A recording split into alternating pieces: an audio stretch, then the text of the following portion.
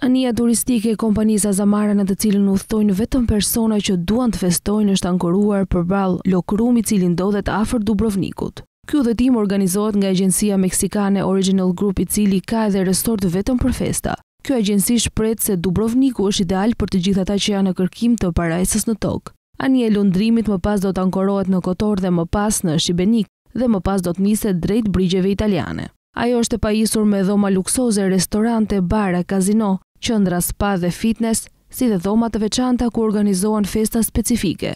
Gjithashtu është e mundur të punësosh një fotograf. Pas mesnate, muzika duhet të reduktohet dhe të respektohen rregullat e vendit ku është ankoruar. Çmimi i këtij udhëtimi varion nga një mijë e shtatëqind deri në gjashtë mijë euro për person në ditë, në varësi të pajisjeve të kabinës.